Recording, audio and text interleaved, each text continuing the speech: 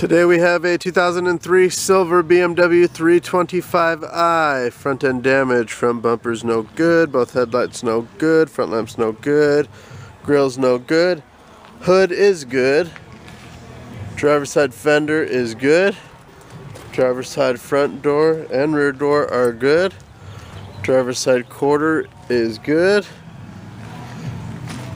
the driver's side tail lights, quarter mounted and lid mounted are both good.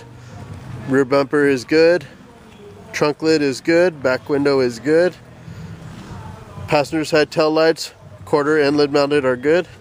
Passenger quarter is good. Passenger rear door and front door are good. Passenger fender is good.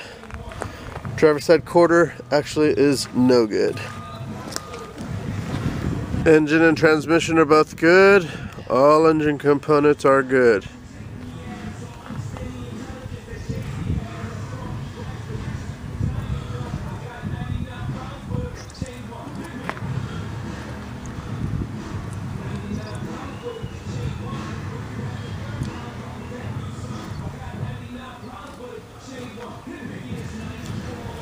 Driver's side trim panel is in good condition. Both front seats are in good condition. Passenger trim panel is good. Rear seat is good.